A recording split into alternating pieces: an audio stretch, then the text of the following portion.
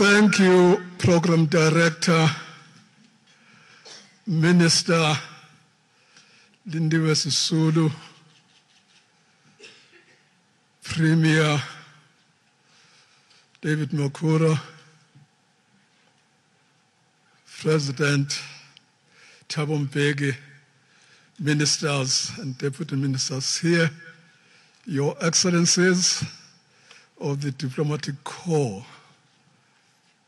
I do agree with uh, what we have been told about Billy concerning the matter of all protocol cons- uh, confirmed. I can't even repeat it.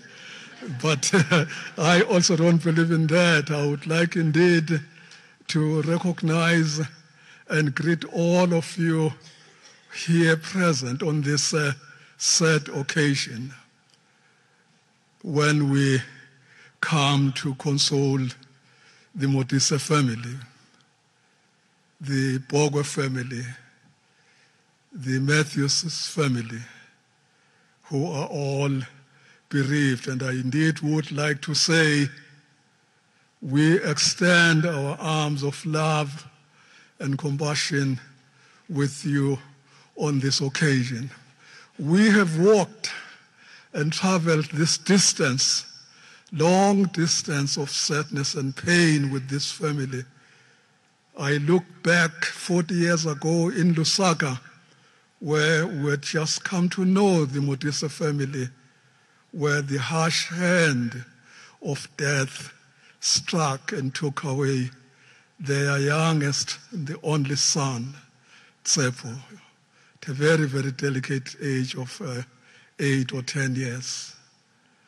I look back after we had just returned here at home in South Africa in the 90s, when again the harsh hand of death struck in this family and took away their teenager, Buntle, at the prime of her teenage life. And I indeed do wish to associate myself with all the condolences that uh, are being expressed or have been expressed to this family.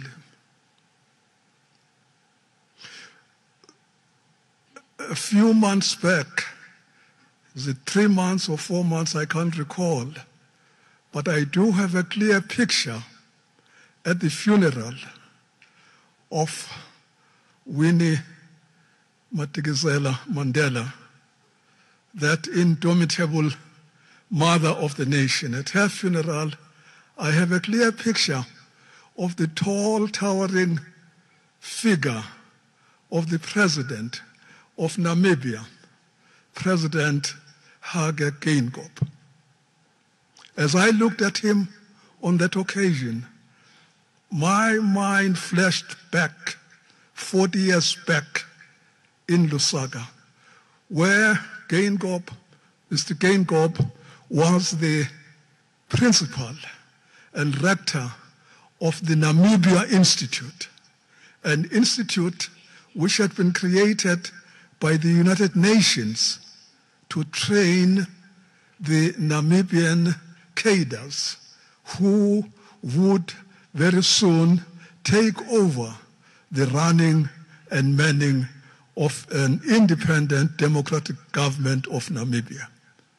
That was a unique exercise. It had never been done before. I'd never seen it, where a liberation movement was given this wonderful privilege and honor of the opportunity to train its future civil servants. As I stand here today, I do have a very clear vision of Billy, Billy Modise, striding down the corridors of that institute, striding into the classrooms of that institute, because Billy was one of the trainers. Billy was one of the teachers, one of the mentors of those Namibian uh, cadres who were being prepared for their independence. I was looking at the ratings by Transparency International just yesterday to confirm some of my feelings. And I looked at the ratings. You know, Transparency International every year gives a list of the countries in terms of what it calls a, a, a, a, perception, a corruption perception index, which really says which countries are the cleanest and which countries are the most corrupt. The countries that take number one, two, three are the cleanest. And as you go up into the 70s, into the 80s, there are 180 countries. And as you go up, you are in the murky waters of uh, countries that are swimming in something not nice. Now, I looked at the statistics, the figures, what uh, Transparency International says about the SADC countries. I looked at three countries, Botswana, Namibia, and South Africa. Botswana is number 34, a very respectable position. Namibia is number 53, an acceptable position. South Africa is number 71. I won't say anything about that because my premier last week at the conference in uh, Drakensberg rebuked me very sharply for saying unsavory things about our style of governance. And uh, I do take that. But I am trying to make a point here that we are looking at Namibia the protege, the result of the teachings of Billy Modise. Billy Modise, as you all know, was a political scientist. He was a sociologist. These are disciplines that are indeed germane in the training of civil servants. And I'm sure Billy Modise would have in his teachings, he would have shared some of the visions that uh, are articulated in our Freedom Charter. As I stand here today, I'm mindful that we are celebrating today the 60th or the 63rd anniversary of this wonderful flagship document. In its very, very first clause, that this flagship document articulates the aspiration that people shall govern. And I'm sure Billy shared this vision with those Namibian uh, uh, cadres. He would have taught them the tenets of good governance. He would have taught them the values and principles of what good governance is a high standard of professional ethics, adherence to efficiency, effectiveness, and, effect- and efficacy in the management of resources. He would have taught them about the values of accountability, transparency, and meritocracy, because these are the fundamentals of running a decent government. And I'm sure the people of Namibia do experience that, and I would like to, and I don't think it's too much out of the way to say that is the contribution that Billy Modise made to the people of uh, Namibia. Billy is not the trainer, only the trainer of civil servants. Billy is an educationist. He was an educationist.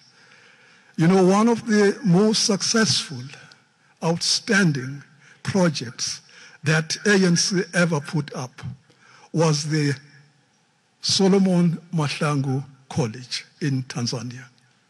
It started way back in the mid 70s, 40 years ago, when the ANC asked that illustrious veteran of the ANC,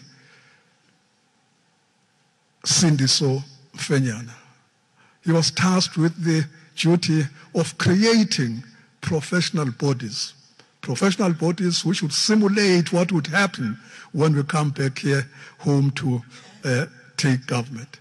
Sindiso set up this education committee, which became the Educational Council of ANC.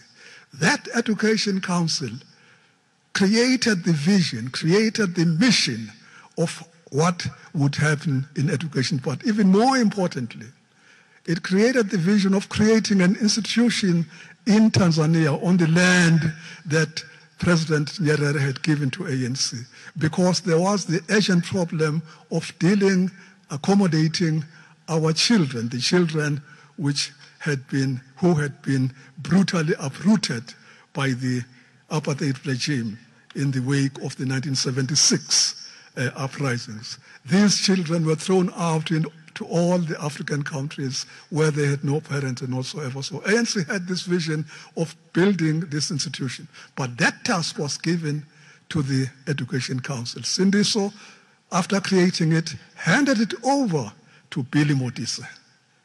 Billy Modise was the chairman, chairperson who steered this ship of the Education Council, who translated the vision of the ANC into reality. I'm not saying Billy did this single-handed. Yes, indeed, there were several outstanding leaders of ANC who put their hands and heart into creating this institution. But Billy was indeed at the helm of building the education content of SOMAFCO, along with other professionals Mrs. Sangweni, myself, and other colleagues like Tim Masego, Mangezu, and several others, and Jack Simons, and all the people like that, put their hands in building that. But Billy led that process. And I'm saying here, we are looking at this wonderful South African, the teacher of our people. When we came back here, there were several tasks that faced us, one of which was creating the branches. I remember in 1996 or so, 97, Billy Modise, along with others, Tony Sidat, and of course Mrs. Sangweni was in that also, several other people. We gathered together how we could create branches. And the first branch that was created was in Sunnyside. That branch grew into what today is Beyers Naudé branch. Billy was the chairperson of that branch. He led that branch, steered the ship of that branch into reality, and that branch still exists today. It may be suffering some other handicaps, but it is still the branch. When I think of all those, those are the good works that Billy uh, did. I'm talking here about a friend of myself and various other friends and also friends of the organization who made tremendous contributions to uh, our life in South Africa. Billy was a social man. We played golf with him. And we indeed even set up what was called the Presidential Golf Club uh, under the days when uh, uh, President Thabo was the president.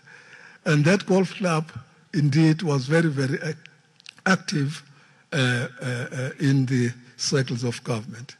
And we played this game. Everybody enjoyed that game. And this is really that I am talking of. And so I would like indeed to concur what has been, with what has been said about Billy by the various friends. And I would indeed like uh, to believe that I'm speaking on behalf of the friends here to say to the family, we hug you, we remember Billy, and we thank you for sharing Billy with us. Thank you very much.